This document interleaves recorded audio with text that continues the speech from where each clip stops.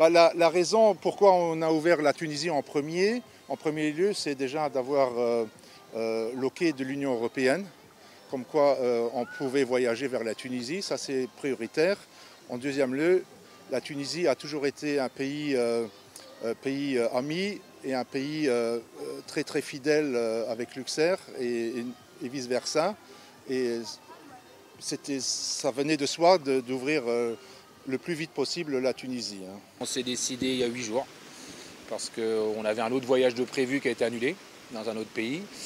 Et j'ai commencé à faire des recherches. Euh, on est quand même cinq, hein, c'est compliqué pour trouver à cinq. Euh, la Tunisie s'est offert à nous. Euh, en plus, le Fiesta, le Fiesta on connaît, on est venu il y a huit ans, donc la décision a été vite prise. On ne peut pas sauver toute la saison, mais on va tout essayer pour sauver une partie de la saison et surtout pour restaurer la confiance.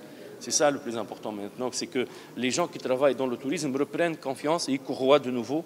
Et je crois que le but serait atteint avec l'arrivée de cet avion et, euh, et d'autres prochainement.